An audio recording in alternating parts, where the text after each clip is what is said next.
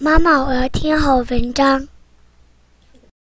小狐狸的窗户，作者安房之子，翻译安伟邦。我迷路了，眼前是一片蓝色桔梗花的花田，一头白色狐狸在我后面紧追不放。忽然，我被它甩掉了，像是看丢了白天的月亮。身后传来招呼声，一个围着围裙的小店员站在一家挂着。印染桔梗招牌的店铺门口，我一看就明白了，他就是那头小白狐狸变的。我给您染染手指头吧。狐狸说着，用四根染蓝的手指组成了一个菱形的窗户，然后架到我眼前，快乐地说：“您往里瞅瞅吧，在小窗户里能看到一头美丽的狐狸妈妈。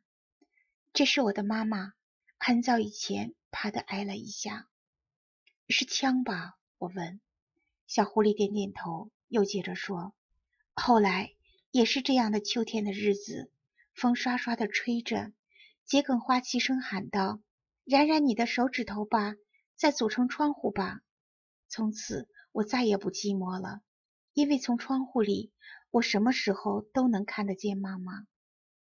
我也染了手指，在窗户里面，我看见了一个从前我特别喜欢。”而现在绝对不可能见面的少女，我想付钱，可一分钱也没带。狐狸说：“请把枪留下吧。”他接过枪，又送给我一些蘑菇。我高高兴兴地往回走，一边走，我一边又用手搭起了小窗户。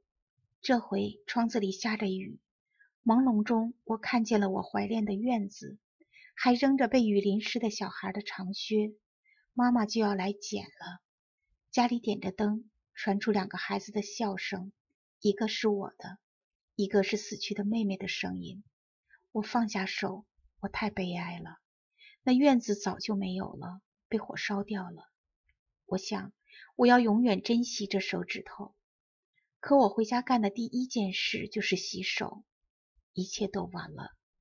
我一连好几天都在林子里徘徊。但没有出现那片桔梗花田，我再也没有看见那头小狐狸。